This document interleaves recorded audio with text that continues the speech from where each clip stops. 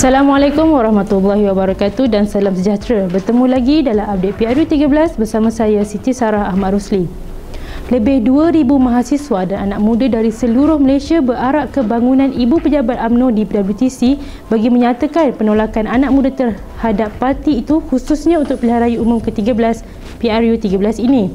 Perarakan anjuran gelombang anak muda tolak UMNO BN tolak tersebut bermula pada jam 2.30 petang dengan himpunan di Dataran Merdeka sebelum bergerak ke bangunan UMNO kira-kira 3.15 petang melalui Jalan Putra.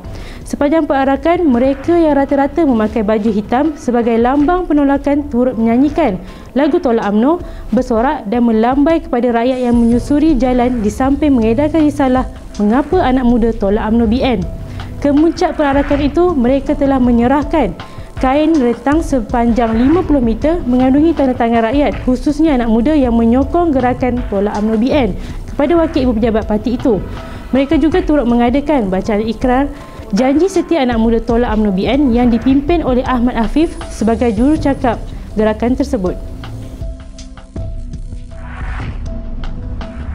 Pakatan Rakyat Negeri Perak optimis kembali mengambil alih pentadbiran negeri pada pilihan raya umum ke-13 yang akan berlangsung 5 Mei ini.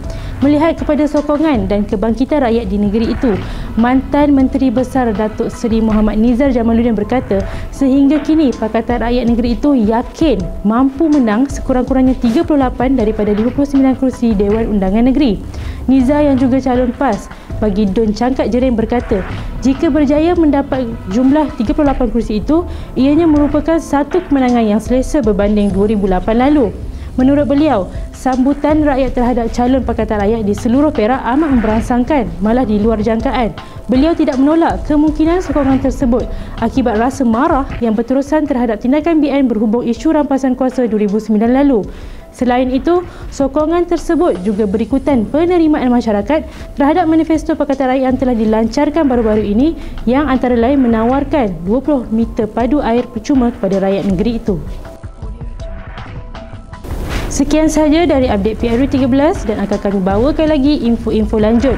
Teruskan bersama kami, kami melaporkan daripada perspektif yang sebenar.